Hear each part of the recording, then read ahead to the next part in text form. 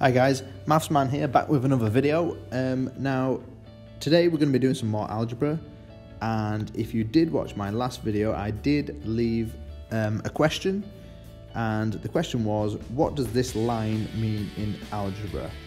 And the answer is divide. Give yourselves a big thumbs up if you got that one right.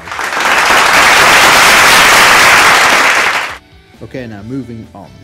Now today what we are going to be doing is we are going to be looking at um, questions and how we are going to express them algebraically. So basically what that means is I'm going to turn this into uh, an equation. Now the easiest way to do this is to start with the equals, uh, what's on the other side of the equals. So I've got equals 12 so I'm just going to write that down there.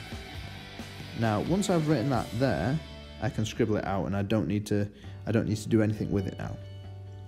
Then I take a look at where there's a missing number.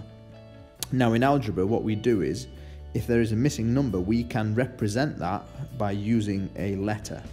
So what I'm going to do is I'm just going to take a look at this little section here because it says 3 multiplied by a missing number. Okay, so I can actually show that by doing 3x now, what you should know is that if there is a number next to a letter, then they multiply. And that is the same as saying 3 multiplied by a mystery number.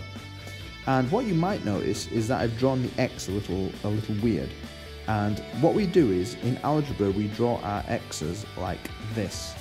Because if I draw it like normal like this, then uh, some people might get confused between multiplication and x. Okay, so I've taken care of that bit now and I'm just left with plus 5, so I'm just going to keep that the same. So 3x plus 5 equals 11. So I have taken that uh, question to begin with and I've expressed it now algebraically. I've expressed it with numbers. Now moving on. Now what you'll notice about this question is that the equals sign is actually before the question. Now, in algebra, you might see that quite often, and it's please don't get confused about it because it just means the same as if it was at the other side, at the end, like you're used to seeing it. Okay, it just means the same thing.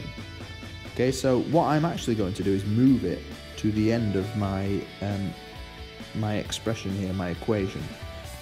So once I've done that, I can scribble that out because I've, I've finished with that. Now this time I've got a divide, I've got a missing number divided by 3. So instead of a missing number, I'm going to use x again, and then divide by 3. And if you remember what happened in the question right at the beginning of the video, you'll know that if I want to divide something and show it algebraically, I put a line and then 3. So that means x divided by 3. Okay, please don't write this x divided by 3 because we never see that in algebra. So now I've taken care of that part here. I'm just left with take away 2 thirds. And there we go. So x over 3, uh, or x divided by 3, take away 2 thirds gives me 2. Now moving on to my next example. So again, my my my question starts with 32 equals. Okay, so I'm going to move that to the back again. Equals 32. So I've taken care of that part. Then I have, then I look for the missing number. So I've got 2, uh, 2 multiplied by a missing number. So again, I'm going to use x for my missing number. x. And then 2. And that would be 2 multiplied by whatever x is. And then I just add the 10. Okay, now this question um, is a little bit different because it's given to me as words and I just follow it step by step here. So multiply x by 7. Well, multiplying x by 7, I can show it like this. 7x. and subtract 15. Take away 15 to give 13. To give means equals. To give 13. It's as easy as that. Now, if you think that you might understand how to express simple questions algebraically now, then have a go at this one. Okay, so um, pause the video, have a go at this one, and see if you can do it.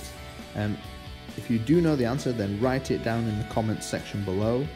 And if you did, if this if this video was helpful, then please give me a, a big thumbs up down below. And if you'd like more videos um, to do with algebra and all areas of Year Six maths, then you might want to subscribe. Um, I'll put the link in the top left hand corner now. Uh, thanks for watching.